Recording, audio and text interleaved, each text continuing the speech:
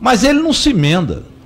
Ele viaja agora, vai para Israel e vai lá desunir brasileiros.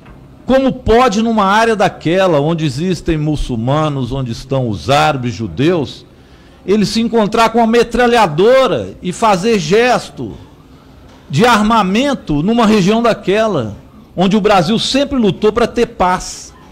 E ele vai lá lutar para desunir, inclusive, os brasileiros que aqui vivem bem, brasileiros que são de origem árabe, judeus. Nunca tivemos aqui no Brasil essa divisão. E este Bolsonaro vai lá naquela região tão tensa, que o mundo inteiro se preocupa, e ele vai lá para incentivar o ódio, envergonhar o Brasil. Esse presidente é uma vergonha, a cada viagem dele, uma vergonha para o povo brasileiro. Vergonha inadmissível. Vai lá o filho dele, o rebento dele, dizer que o Hamas que se exploda, depois o covarde retira o que escreveu no Twitter. Porque a repercussão foi péssima para o mundo e para o Brasil. O covarde retira isso do Twitter.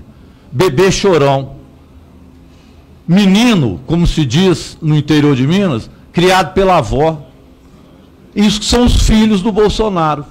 Cada dia um dá um problema para o Brasil. E ele é refém disso. Ele incentiva isso. Faltou ele levar a conge, né? Segundo o Moro. Tem que saber com o Moro se a conge é com J ou com G.